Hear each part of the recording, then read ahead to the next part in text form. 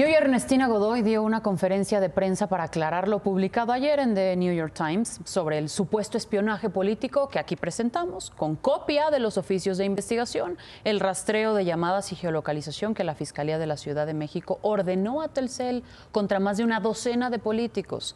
Ernestina Godoy dijo que estos documentos no existen, que son falsos. Lo publicado en el diario de New York Times carece de veracidad, ya que se basa en documentos que no existen en esta fiscalía, no existen en esta institución. La parte fundamental que sostiene la información publicada por el New York Times no es verdadera y presumiblemente está falsificada. Lamento mucho que este diario publique información falsificada para sembrar una mentira que han sostenido algunos personajes del PAN. Entonces, si son falsos, ¿fue capaz Telcel de entregar información a partir de un documento apócrifo? Y si no se lo entregó a la fiscalía, entonces ¿a quién? Si la fiscalía no tuvo nada que ver con la plantilla de llamadas y la información que según Telcel le fue ordenada, ¿quién miente? ¿Telcel no recibió acaso la solicitud de la Fiscalía a través de un buzón único, el medio institucional de recepción de este tipo de documentos? ¿O no verificó quizá que los documentos fueran legítimos, que las firmas de estos documentos fueran auténticas? Sería insólito que la compañía de telecomunicaciones más grande del país tuviera un descuido de esa magnitud.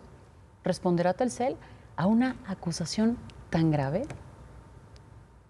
Ya estaremos avanzando en la investigación para saber exactamente qué fue lo que sucedió, quién emitió esos, esos documentos haciendo uso de membrete de la fiscalía, de algunos datos de la fiscalía, pero hay errores. Por eso, ante un juez federal, nosotros negamos la existencia de esos documentos y efectivamente, pues vean ustedes quienes están saliendo a conferencias de prensa como parte de una campaña de, de desprestigio hacia la Fiscalía y hacia mi persona.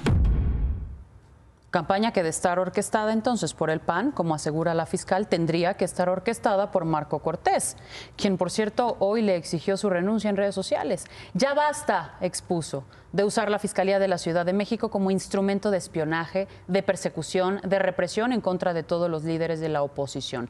Exigimos la inmediata renuncia y castigo a Ernestina Godoy.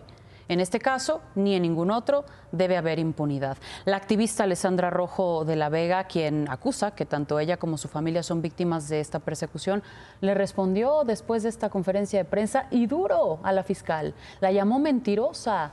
Ayer tu fiscalía me entregó en mis propias manos una nueva investigación en mi contra. ¿Cómo pueden negarlo tan cínicamente? La semana que viene, por lo pronto, se define si Ernestina es ratificada. Sí, pero más, más allá de, si hay una conspiración o no, la fiscal, ahora ya fue la fiscal, dijo esos documentos que recibió Telcel no fueron nuestros, fueron apócrifos. Y como dijiste hace unos momentos, fue tan ingenuo Telcel, el área jurídica de Telcel, para no darse cuenta que era un documento apócrifo, no les llegó al buzón donde debe llegar. Alguien no va a salir bien parado de esto. ¿eh? Y alguien mintió, alguien tuvo que haber mentido. O la fiscal, porque ahora ya es ella misma, o el área jurídica de Telcel. Gracias, Claudia.